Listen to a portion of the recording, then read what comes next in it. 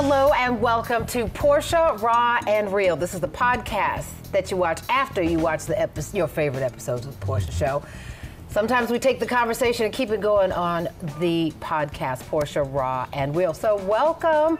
Uh, today, we wanted to, and you know the concept here, we always pull in some of our favorite guests and keep the conversation going. And I can tell you with these three jokers, we had to keep it going for sure. This episode about what men are really thinking when it comes to marriage, it was a really great, really candid conversation. And um, I, let me just, we're going to just dive right in. We've got Dr. Alduan Tartt. He is a minister and a psychologist, relationship therapist, counselor, husband, father, uh, and loves, loves, loves the Lord and the institution of marriage and believes in advocating for both. And so we brought him back for this episode. And then you have Henry Coleman, comedian. Yes. Real funny fella. Tells some really funny stories about his life as a single man on stage and on the show. And then we have Cecil Henry. Correct. Very good to meet you and to have you back. Thank you. Uh, twice divorced, Right. long marriage, shorter marriage, Right. no marriage now, one another marriage because you firmly believe Right. This is you are a, a, a man is to be married. Correct. Tell me a little bit more about yourselves for folks who did not get to see the show. If you did get to see the show, it's PortiaShow.com. Go check that out. Go ahead. Uh, okay, I'm Cecil Henry, um, 40, 53 years old, excuse me. I'm a retired Army officer, 28 years of military service. And I thank you for your service. Thank you, thank you, Yes, thank you. indeed. Right. Certainly thank you for your Uh, and I'm also a SAG-AFTRA uh, qualified actor. Okay, gotcha. That Look at means you got that. the card. Versatile. That means yes, you got the card. You got the card. Pay the dues. And um, Henry, tell me more about you. Uh, stand-up comedian, father, uncle, brother, cousin, uh, community activist, uh, just all around good person. All around good person. Yeah. All around humble person too. You'll- Very attractive man. You're about to figure this out very quickly. Most humble brother on the table, right? That's right. Um, Very attractive so man. listen, never married, right? Never married, never married. And that is not by choice. You would like to I would be love to be married. married. You know, I'm actively uh, looking for a wife. You know, I've dated a lot of marriage caliber women. It just never ended up going, you know, walking down the aisle. Why not? Um, the last, the Have la- you proposed? like physically, like with a ring, will you marry me? No, I haven't. I haven't. Well, what in the I, I whole haven't. entire? What did you say? I mean, I haven't gotten to that point, but I. Okay, so you have not. Okay, I thought you were like, you want to get married? Okay, me too. Yeah. Uh, But it wasn't like that. Okay, gotcha. Okay, so you still would like to. I see myself being. I I, I, I, I believe I'm a husband, and I see myself as a husband, and being uh, in a committed Okay. marriage relationship. Yeah. Dr. Tartt, you've been married for many, many years, Yeah. and a father for Yeah. a few years, for sure. Um, what do you hear men saying about this commit- commitment to marriage? Because so many women are just, oh, men don't want to be married. I'm just going to be single the rest of my life because there are no men out there who want to be married. And you say that is nothing is further from the truth. Right, right. Because uh, first of all, we know how much social media and podcasts have influenced this generation. Yeah. And there is a absolute attack on the institution of marriage for African Americans. It keeps it keeps us at the lowest of the poverty range. You look at our uh, Indian brothers and sisters, Asian brothers and sisters, even Caucasian brothers and sisters. Marriage rates are elevated, wealth is elevated, right? And so they can keep us separate, right? Then we stay at the bottom. So one, we kind of have fed into that, and then two, happily married men are silent. Mm. In, on social media, you don't see them. Right. A lot of men don't really do social media anyway. Yeah. And then a happily married man, they're they that's not they're not gonna really come on and, and talk about. They might talk about how sorry Dallas Cowboys are. talk about we were talking about like the, why the Falcons grabbed two quarterbacks, but on. they're not gonna come on there and open up about their relationships. Like even, even I do it, but even I have to take shots. Oh, he better be perfect. I better not see you at Krispy Kreme talking to the mm. Krispy Kreme lady, right? better not, right? Right, right, right. So so for those men are in record numbers according to the research. Like when they look at uh, like dating apps, uh, women will tell you they're outnumbered by men. Yeah. All right, and this is the most rejected generation of men in a very long time. When you say the most rejected generation, meaning women, or well, first of all, let me ask you this: Do you agree? I sort of agree. Why? Uh, because you know just based off personal experiences um, and even myself i've been on a dating app and you know you may meet someone, you may go out and have, you know, coffee, tea, or whatever the case may be, and, you know, they may look at you as pretty decent stock, but, you know, their idea is, oh, I can find something better. Mm. Hmm. You agree? That was Uh, horrible. The, the maybe I could do a little, a little better, yes. Mm-hmm. I mean, it seems like women always kind of start, they go through phases of loneliness or whatever they're dealing with, mm-hmm. and they have a high tolerance with you coming to the table because they just want somebody. And then after, wow. And then after like their initial needs get met or like the loneliness gets cured or whatever, whatever the, the, the first problems are get taken care of, then it's like they start changing up and start switching. What do you mean by that? The first problems are taken care of. Like you mean in terms of the needs? Like that so, you meet. We that was talking about this you- earlier. Like you meet a lady that might need some tires. She don't know she needs tires from her car, or you know she got lights out, and or she can't get a get her uh, fire extinguisher button to stop beeping. You know what I'm saying? But you wait come a second. I mean, just different things. Henry, different things men That's do. different. A woman who wants you for tasks and errands Mm-hmm. is not somebody that you were trying to marry, right? That's a I woman who wants you for tasks and I errands. hear this Right. almost every day from men.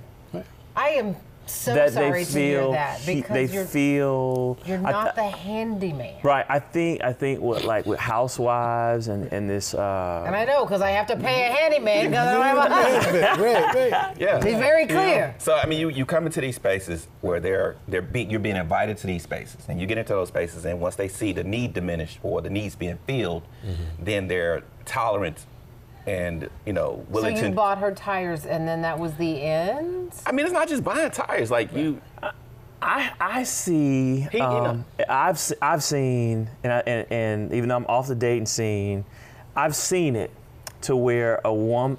You've seen it? I- where they, they'll, they'll be on social media and they'll say, "I'm out eating dinner, but I don't even like them."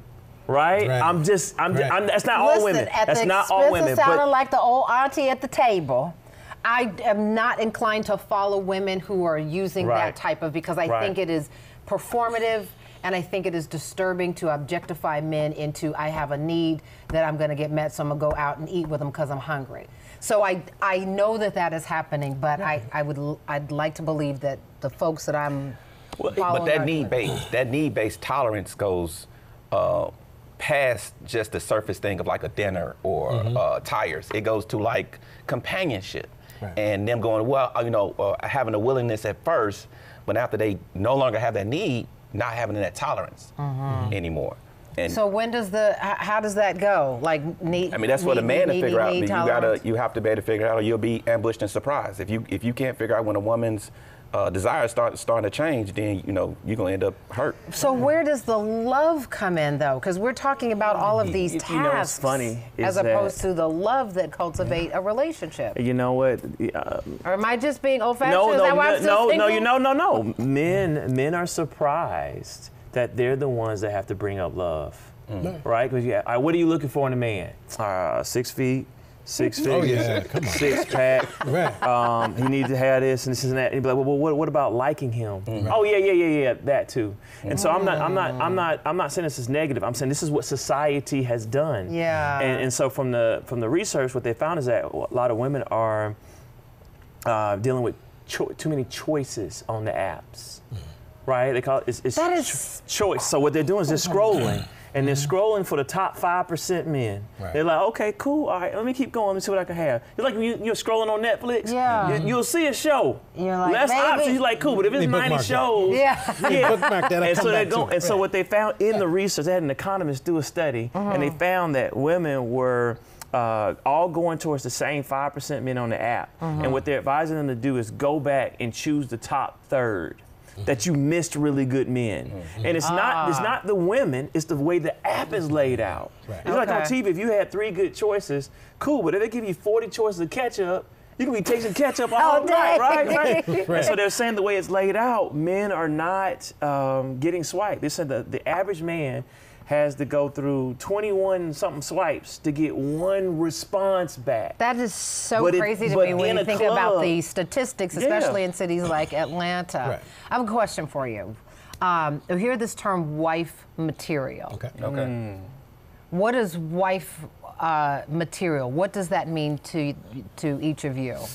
Ooh, for myself, you know, it, it goes back to the biblical context of having your helpmeet. so to speak. You know, someone that um, is going to help you shoulder the load when you need it. Uh, someone that's going to be there to help uh, guide you because you know sometimes uh, we have to lean on each other. Of course, You of know, course. So that's that's what wife material means to myself. Henry.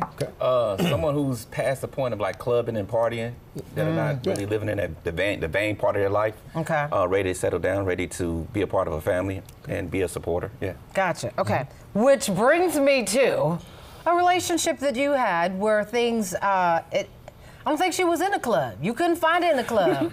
No. Bottle full of bu- nothing. How you know that song? I, what song are you talking about? That's a song. What you talking about, Willie?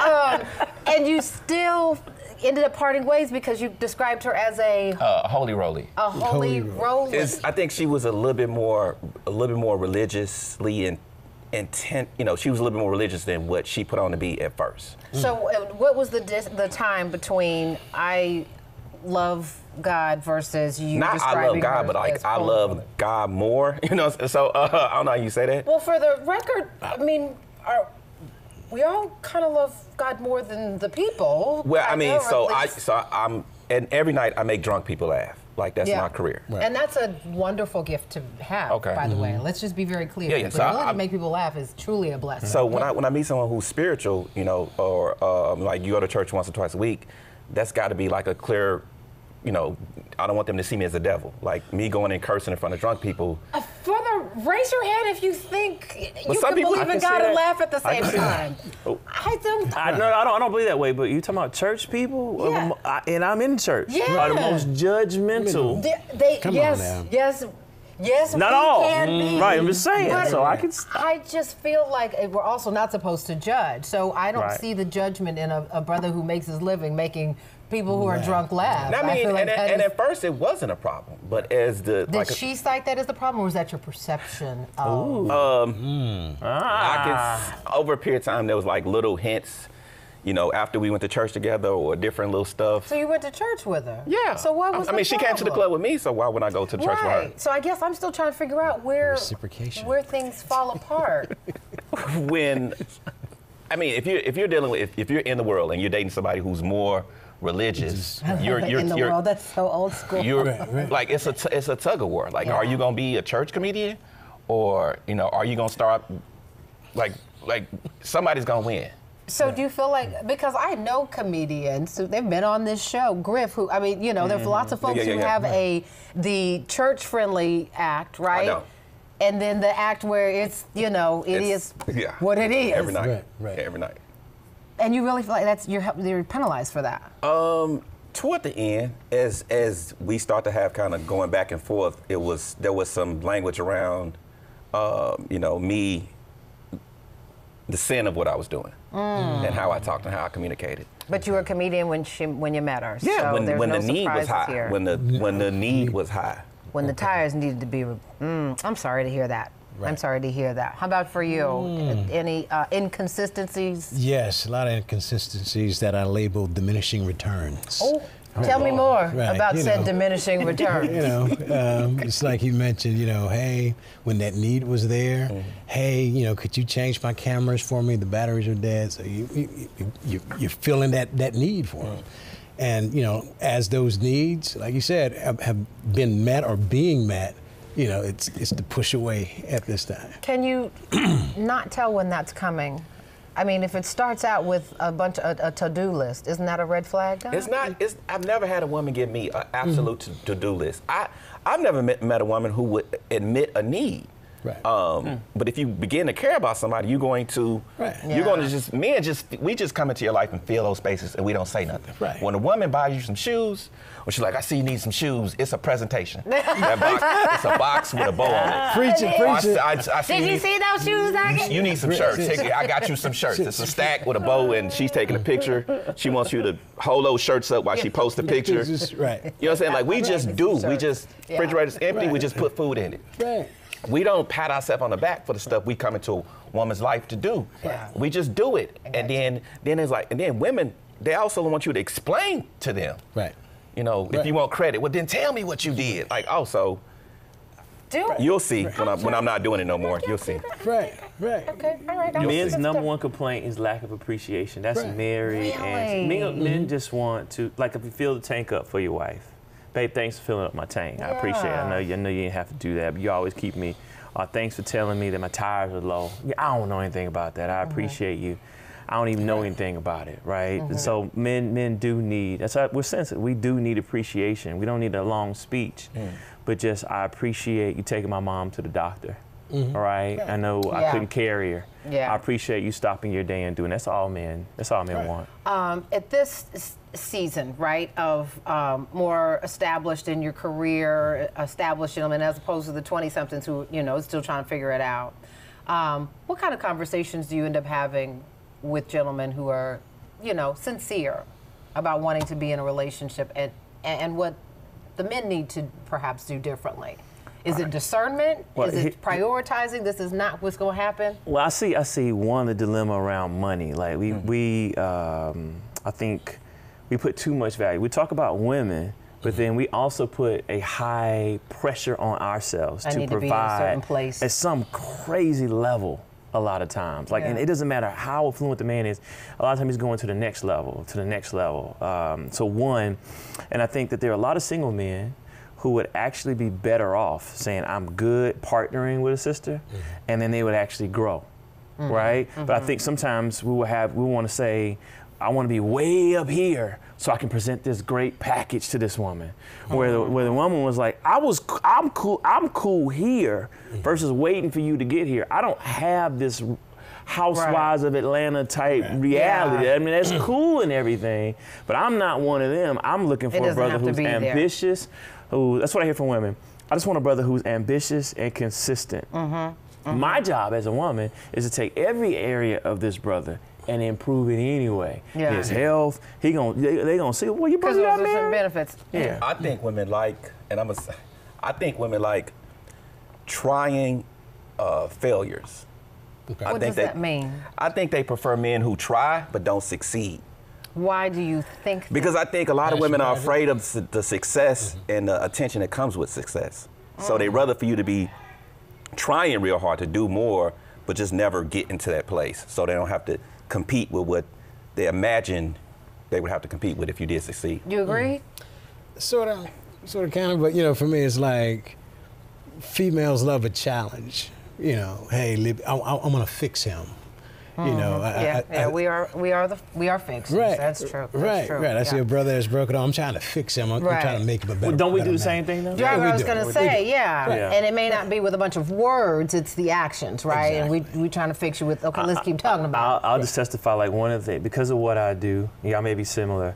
I would attract early on women who needed help, but I mm. was unaware of it because Right. my oh. my number one self characteristic is a helper, a mm-hmm. healer. I got you, right? I used to mm-hmm. joke people, if you don't crack, that's all right. I got a degree. We can get you on substance abuse. You can be fine. Yeah. But what I realized was a pattern of mm-hmm. dating women who needed help, but when it was time for them to either help me or to mm. be a healer or be a mm. voice of reason, they were unable. And I never actually looked for that.